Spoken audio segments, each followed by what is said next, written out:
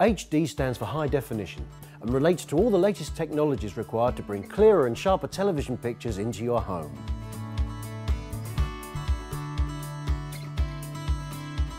It gives you picture clarity like you've never seen before.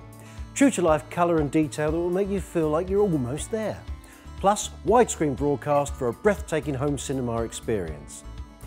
This logo is often displayed next to TVs and means that they can receive HD transmissions and display them. To watch HD programmes, there are a couple of things you'll need. 1. An HD-ready TV. 2.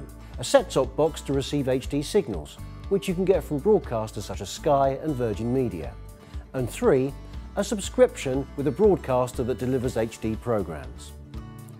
Over the last few years, high-definition TV has taken television to another level. And now, things are about to change again with the arrival of 1080p. 1080p TVs feature the latest technology and give you the best high definition pictures.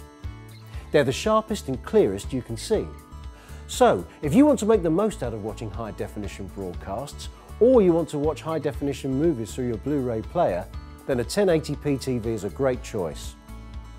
You can enjoy a host of your favourite programmes, films and sporting events in breathtaking quality.